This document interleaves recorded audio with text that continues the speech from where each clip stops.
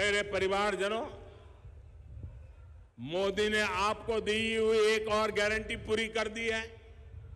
अब लोकसभा और विधानसभा में बहनों के लिए 33 प्रतिशत सीटें आरक्षित हो जाएगी। भाजपा सरकार में नारी शक्ति वंदन अधिनियम अब सच्चाई बन चुका है।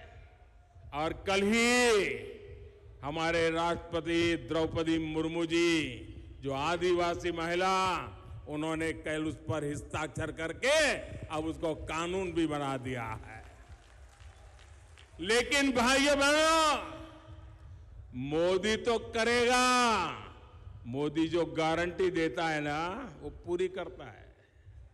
लेकिन आपको खास करके माताओं बहनों को बहुत सतर्क रहना होगा। बहुत मुश्किल से इतना बड़ा पड़ाव हमने पार किया है। तीस साल से लटका हुआ था, आप सोचिए, तीस साल। सरकारें आ गई, बोलती रही, नाटक करती रही, काम नहीं किया। कांग्रेस और इसके गमंडिया साथी, उनको लग रहा है कि मोदी ने क्या कर दिया?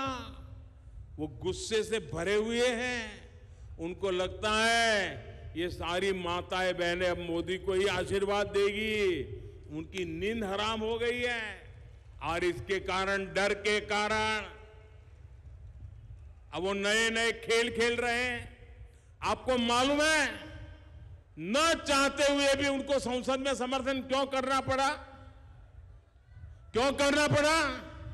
माताएँ बहनें, अब आपकी जो एकता और जागरूकता आई है ना इससे वो डर गए थे। इसलिए उनको ये माताओं बहनों, आपके चरण में आज आना पड़ा है।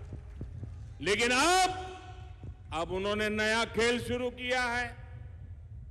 अब वो बहनों में भी फूट डालना चाहते हैं।